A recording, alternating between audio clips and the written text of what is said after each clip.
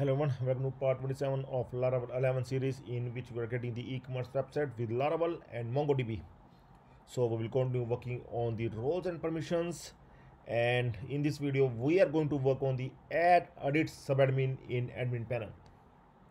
In the last video we have seen uh, that we able to show all the subadmins in the admin panel and we have added these are uh, these subadmins uh, from Seeder okay and one of the subadmin we have deleted in the last video to test the functionality of delete okay? And active inactive also we have added in the recent videos. And now we are going to add here the add edit subadmin icon so that we can able to uh, edit the subadmin as well. Sorry add subadmin uh, button is here but here we are going to add the edit subadmin as well. Okay so we are going to work on these things straight away. So here is the source code. First thing is that we are going to add the route for add edit subadmin and it will support both get as well as the post. Okay so i'm going to copy this one and will paste in web.php file. Okay so this is the fast way that we can finish this laravel 11 e-commerce series. If you want to see in detail if you want to know every feature then you can follow the laravel 10 series as well. Only difference is this series supports mongodb instead of mysql okay? So you can follow the laravel 10 series for uh, for the complete code. Like uh, i i wrote their complete code step by step instructions uh, okay? So you will get the complete code complete written code. I write everything uh, one by one okay? Uh, but here i just copy paste the things to uh, to so that we can able to finish it as soon as possible okay so uh, let's add here the uh, add edit subadmin feature. And in admin controller i'm going to add this function. Okay i'm going to open the admin controller. And i will add the add edit subadmin function. So this is the function in which this function will support the add subadmin as well as the edit sub subadmin feature along with the validation as well that we we are required for the add edit subadmin. Okay so like uh, in seeder i have shown you that uh, which are the subadmin fields that the subadmin can able to add and edit okay? I will first uh, make it uh, uh, alignment proper alignment okay? So here i have shown you that there are a few fields that we can add or edit for the subadmin. Uh, it's same as admin okay? So here in the admins collection you can see name type mobile email password image status. So these are the fields okay? So once i copy this one after that see after copy this one uh, see this all these fields for add and edit this subadmin. It is same like we have done for the cms pages okay? So whenever there is subadmin request we are going to validate that and we are going to add that subadmin. And in the case of edit we are going to edit that subadmin okay so uh, after this we are going to create this add edit subadmin uh, blade file under subadmins under subadmins folder. So i will simply open this subadmins blade file that is located inside the subadmin. So i will just do it like file save as to save the time okay so that uh, we can uh, simply save this file to the another one. So i'm going to just simply uh, i will do file save as. And here I will simply add the name as add underscore edit underscore subadmin. Okay I'm going to save.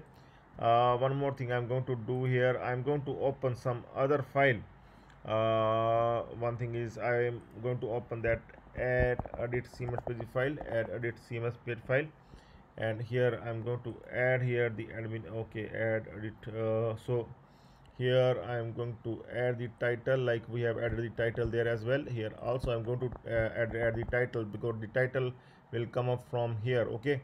Uh, subadmin title sometime it will be add subadmin and sometime edit subadmin okay? So this title will also come here as well okay? And uh, add subadmin that is fine. And so okay. So what i'm going to do i'm going to copy that uh, code from uh, this complete form subadmin form i'm going to copy and will paste there. Okay and i'm going to check for its location. Uh, what i'm going to do here i'm going to copy this uh, main content so that uh, uh, we can able to uh, work on this one in a perfect way. Okay so I will just copy this one and now I'm going to uh, change its form. Okay I'm going to copy now the form and will paste here. Okay so this is the form I'm going to replace it with the subadmin form. Okay so now I'm going to check that whether uh, we able to see the subadmin uh, or not. Okay so what I'm going to do I'm going to click on add subadmin and we'll see that uh, if form is not displaying right now add uh, subadmin. Okay so its url is incorrect. So i'm going to modify its url in subadmins dot blade dot php file. I'm going to make its url add edit subadmin okay? Add edit hyphen subadmin. So i'm going to refresh and we'll see now that the form that we have done is opening correctly or not.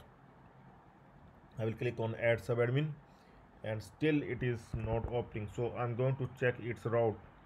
Add edit subadmin. Okay so it is add hyphen edit hyphen subadmin so still the url is incorrect okay? I will make it add uh, edit subadmin like this okay?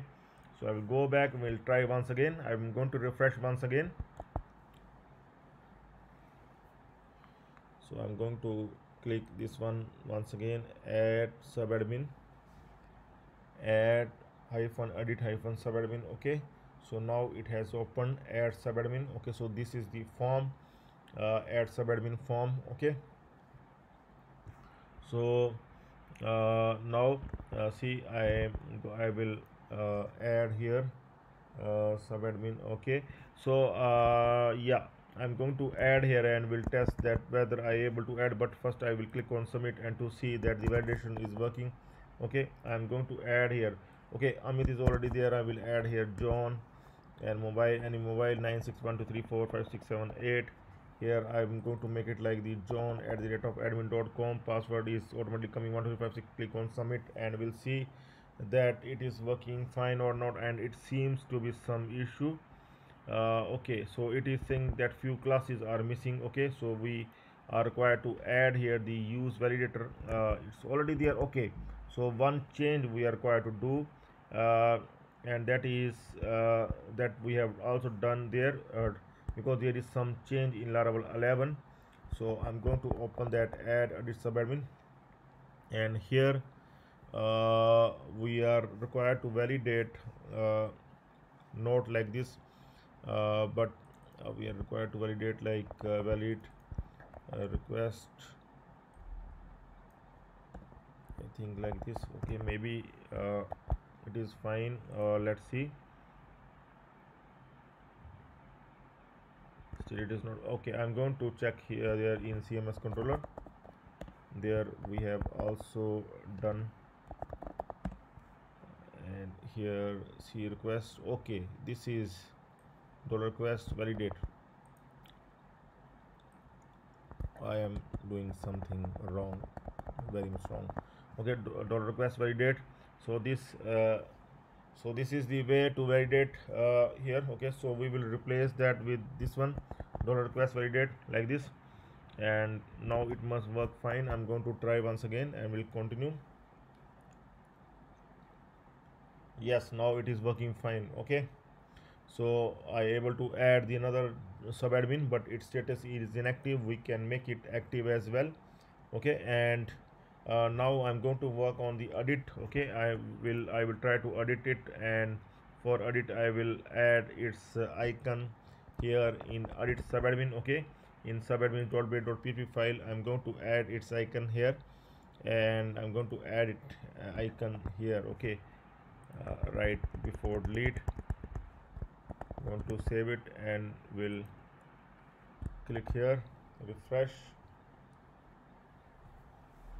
okay so here I'm going to see now. So it's working uh, fine and so I'm going to click on edit. And here uh, you can see that the complete details are coming here as well. Complete subadmin details are coming here as well. Okay so uh, now I will try to edit these subadmin details. And here it is the add edit subadmin. Here i'm going to try will try to edit these details here. And after edit I will try to update like uh, let's see if we enable to update. Okay so it's wrong. So I will rename it to the John Singh and will make its number like uh, 97 something and we'll click submit now and we'll see that we able to update or not. Yes. So I able to update this one. Okay you can see that I able to update. Okay but one more thing we are required to see here that its number uh, mobile number uh, uh, may be or may not be that uh, you can make it unique as well. If you don't want uh, to update the number then you can make it read only as well. So it's your choice if you want to make the mobile as read only okay? Because every subadmin uh, must be having the unique mobile okay? So you can make it read only as well. So it's your choice so uh, let's see that if there is anything else is pending.